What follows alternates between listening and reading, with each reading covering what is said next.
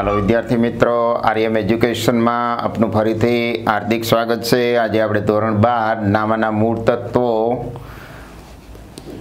સંપૂર્ણ અભ્યાસક્રમ અંગેની બોર્ડનું પ્રશ્નપત્ર માર્ચ બે હજાર વીસના સોલ્યુશનની વાત કરવાની. તો એમાં જોઈએ વિભાગ એ.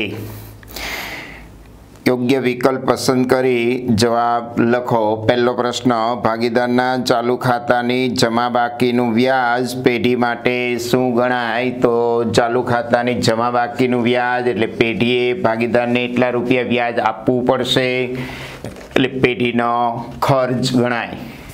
જો ભાગીદાર માટે શું ગણાય એવો જવાબ આપ્યો હોત તો આવક આવે, પણ પેઢી માટે ખર્ચ ગણાશે. બીજો નંબરનો પ્રશ્ન, પાઘડી એ ખાલી જગ્યાનું નાણાકીય મૂલ્ય તો ધંધાકીય એકમની પ્રતિષ્ઠાનું મૂલ્ય દર્શાવતી અદ્રશ્ય મિલકત. એટલે મિત્રો, પાઘડી કહી શકાય.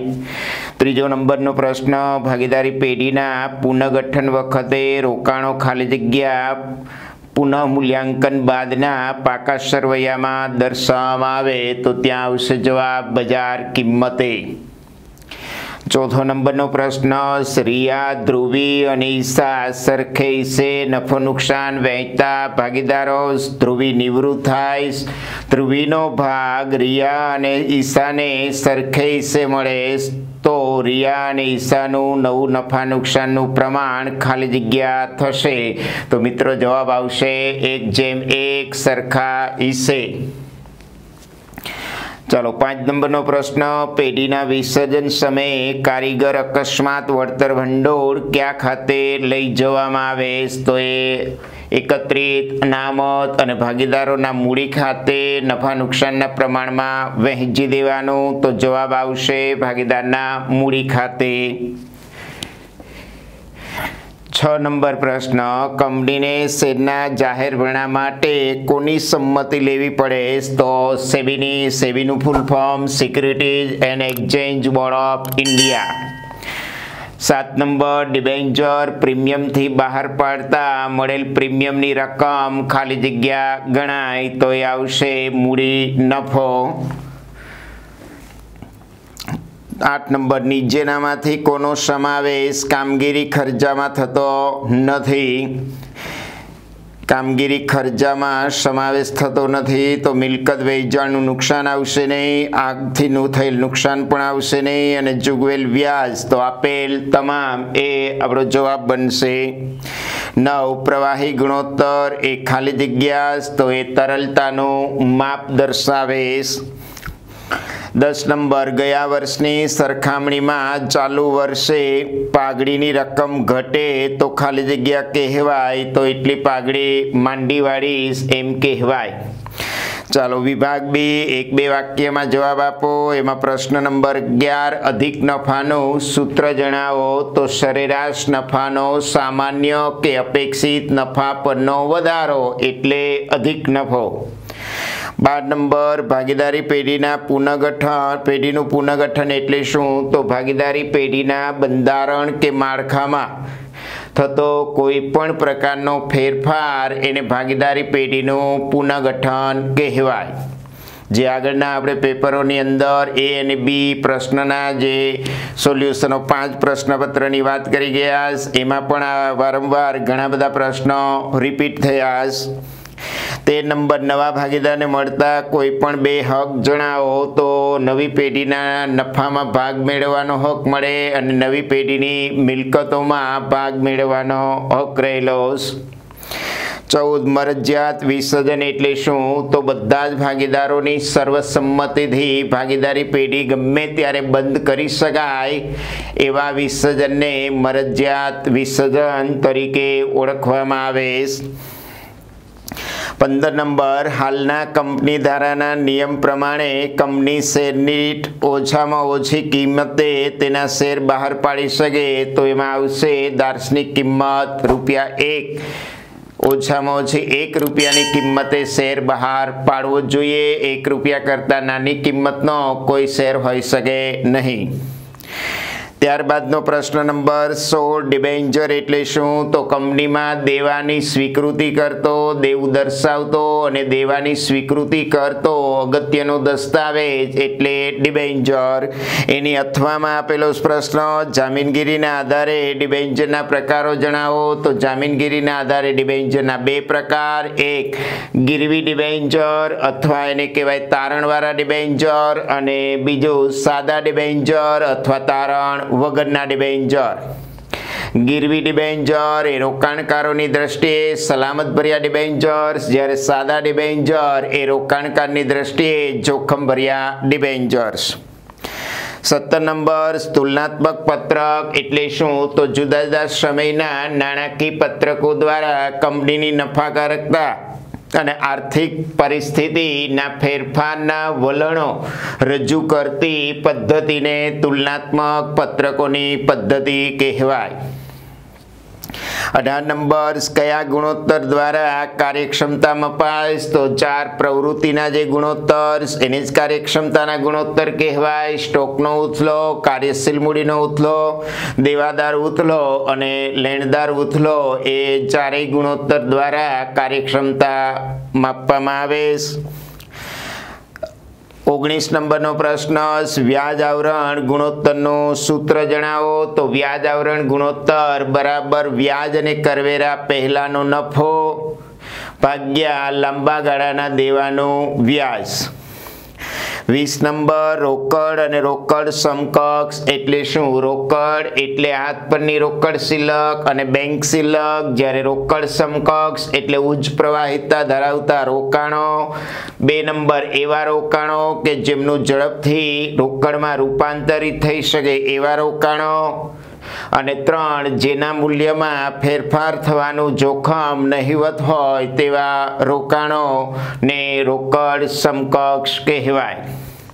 ચાલો વિભાગ સીની વાત કરીએ.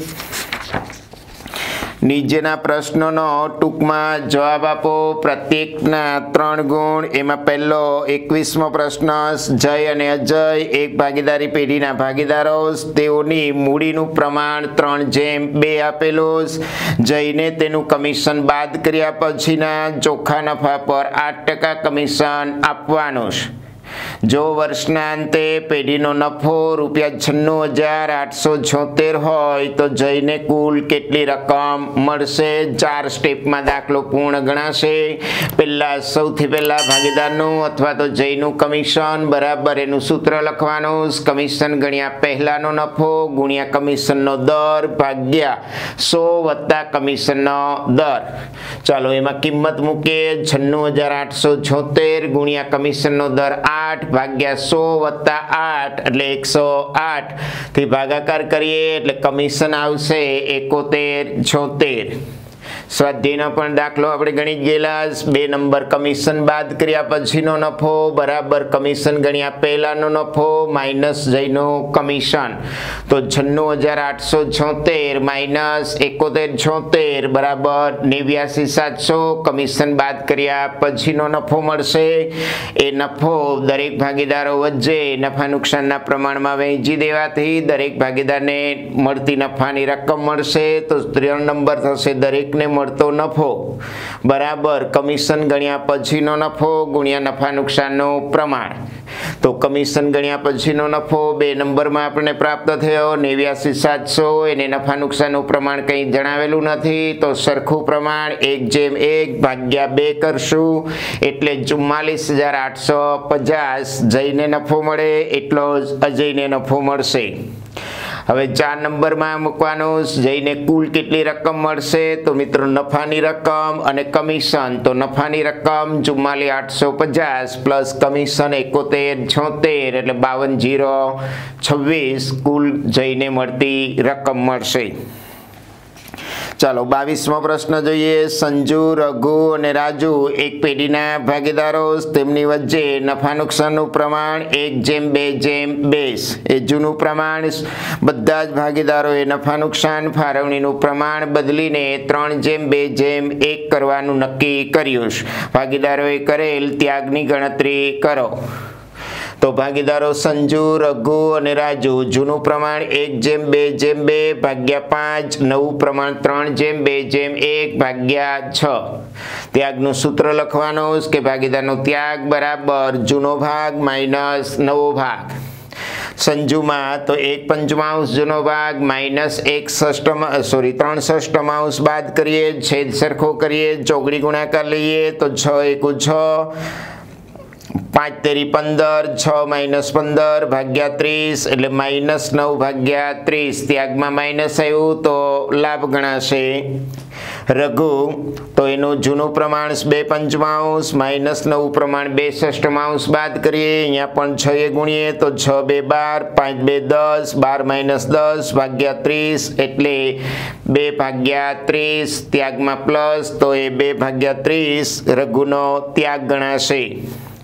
ચાલો, ત્રીજો રાજુ, તો બે પંચમાંશ, માઇનસ એકસઠમાંશ તો છ એ ગુણીએ, તો છ બે બાર, પાંચ એકુ પાંચ, બાર માઇનસ પાંચ ભાગ્યા ત્રીસ, એટલે સાત ભાગ્યા ત્રીસ પ્લસ એવા જે રાજુનો ત્યાગ ગણાશે, તો અહીંયા રઘુ બે ભાગ્યા ત્રીસ અને રાજુ સાત ભાગ્યા ત્રીસ જેટલો ત્યાગ કરીશ, તેટલો સંજુ લાભ મેળવીશ. એટલે ત્યાગનું પ્રમાણ બે જેમ સાત થાય. ચાલો, ત્રેવીસ નંબરનો પ્રશ્ન જોઈએ. નીચેના વ્યવહારો પેઢીના વિસર્જનના સંજોગોમાં થતી આમનો લખો. જેમાં બાબત જે જરૂરી નથી, તો પહેલો પ્રશ્ન સ્પેલિયામનો ચોપડે પાઘડી દર્શાવેલ નથી, છતાં વિસર્જન સમયે તેના વેચાણના સાઠ હજાર ઉપજ્યાસ. પાઘડી દર્શાવેલી નથી, એટલે એક જ પાઘડીના ઉપજવાની જ નોંધ થશે. રોકડ બેંક ઉધાર સાઠ હજાર, તે માલ મિલકત નિકાલ ખાતે જમા સાઠ હજાર. ચાલો બે નંબર લેપટોપની કિંમત પિસ્તાલીસ હજાર, એક ભાગીદાર તેને પાંત્રીસ હજારમાં લઈ જઈશ તો લેપટોપ ખાતું પહેલાં બંધ કરશું, તો બે એ માલ મિલકત નિકાલ ખાતે ઉધાર, તે લેપટોપ ખાતે જમા પિસ્તાલીસ હજાર. ચાલો વેના પાંત્રીસ હજારમાં ભાગીદાર લઈ જઈશ તો ખાલી જગ્યા ભાગીદારના મૂડી ખાતે ઉધાર પાંત્રીસ, તે માલ મિલકત નિકાલ ખાતે જમા પાંત્રીસ હજાર. પહેલાં ખાતું બંધ કરવાની, મિલકતનું ખાતું બંધ કરવાની નોંધ થશે અને ત્યારબાદ ભાગીદાર જે સાહીઠ પિસ્તાલીસ હજારની રકમ પાંત્રીસ હજારમાં લઈ જાય, એની ઉપજવાની નોંધ કરવાની ત્રણ નંબર પરચુરણ લેણદારો એંસી હજાર, તો પહેલાં લેણદારનું ખાતું બંધ કરશું, એટલે ત્રણ એ આવશે.